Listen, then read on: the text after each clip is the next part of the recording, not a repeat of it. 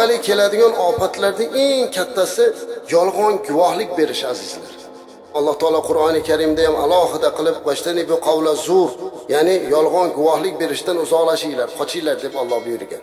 Payg'ambarimiz alayhissalotu vassalam juda katta katta gunohlarni sanab shirk keltirish mana eng katta gunoh. Allohga biror kishini sherik qilib qo'yish ota onaga oq bo'lib qolish bir insonni o'ldirish va yolg'on guvohlik berish deyaptilar. Yolg'on guvohlik berish azizlar bu o'zimiz bilmagan narsani guvohligini berib qo'yish. Bermayapmizmi? O'zimiz bilmasdan turib nimalar deb yubormaymiz xudo bizni kechirsin azizlar. Bir inson haqida gap ketsa xuddi butun umr yashagandek hamma yo'g'ini aytib beraveramiz. Buni ko'rdikmi? Sizga kim aytdi buni? Yo'q unaqa narsa yo'q men guvohman deb qo'yamiz xudo o'zi kechirsin. O'z ko'zim bilan ko'rdim ham deb yuboramiz. Mana bu narsa eng yomon azizlar hech qachon yolg'on guvohlik bermaslik kerak. Yaxshisi bilmayman desin. Bekorga bizni qonunimizda ham yolg'on guvohlik uchun javob berilmaydi shariatimizda ham xuddi shuningdek. Yana til orqali keladigan eng katta ofatlardan bittasi azizlar. Bu ham hozirgi kunda deyarli biror bir majlis bir o'tirish bir ziyofat busiz bo'lmay qoldi. Xudo olloh bizni kechirsin azizlar. Bu g'iybat.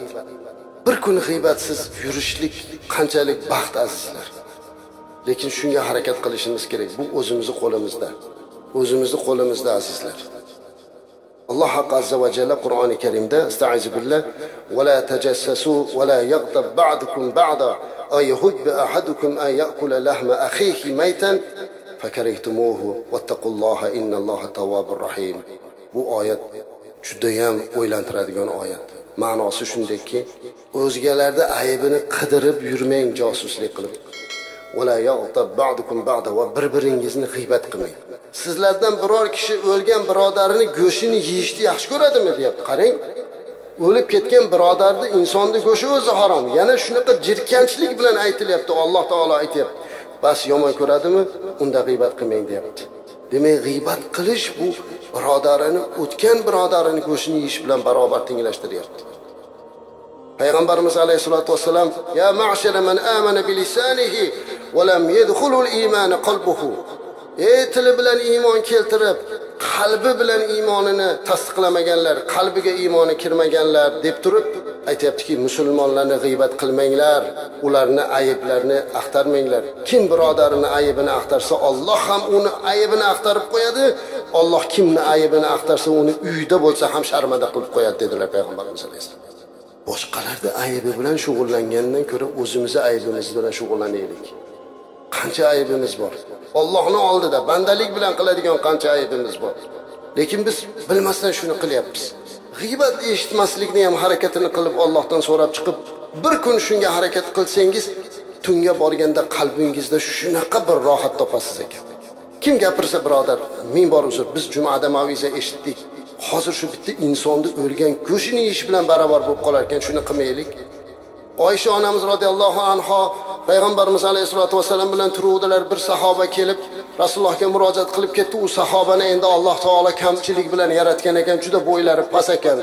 Pakar ekan. Haligi ketuvdi. Oysha onamiz ya rasululloh sollallohu alayhi vasallam juda qosir odam ekanmi? Pakar odam ekanmi? deyavdilar rasululloh alayhissalom oysha onamizga qarab ya oysha dedilar. Tupuring dedilar. Tupuring oysha dedilar. Tupuruvdilar qon chiqdi.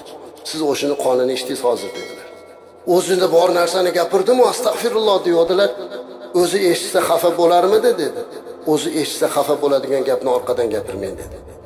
Gapirsangiz o'zi eshitsa xursand bo'ladigan gapni gapiring. U bir insonni orqasidan yaxshilik qilish yaxshilik qilish. Lekin o'zi eshitsa xafa bo'ladigan gapni o'zi yo'qligida gapirish o'sha gapirayotgan inson uchun qattiq gunoh qilgan bo'ladi. Eshitib qolsa u odam qalbi og'riydi. Shuning uchun eng birinchi tilimizni g'iybatdan saqlamoq uchun eshitishlikdan saqlanishni o'rganishimiz kerak azizlar. Qarang agar bitta o'tirishda o'ylab ko'ringlarda o'tirishda g'iybat bo'lmasa yolg'on bo'lmasa tuhmat bo'lmasa bekorchi gaplar bo'lmasa gapirolmaysiz ekan o'tiraverasiz ekan. Bir biringizga qarab ulpatlar gaplashganingizni eslab ko'ring. Agar shu narsalar bo'lmasa gapni o'zi chiqmaydi ekanda o'rganib qolgan ekanmiz biz. O'sha haligi bekorga o'tirishlarga gap deb laqab qo'yilmagan ekanda nom boru qayerga ketyapmiz gapga? U to'g'ri gap ekan mana shu haqiqatda gap ekan u. Ertamandan kechgacha gap ekan. Lekin bu katta katta gunoh.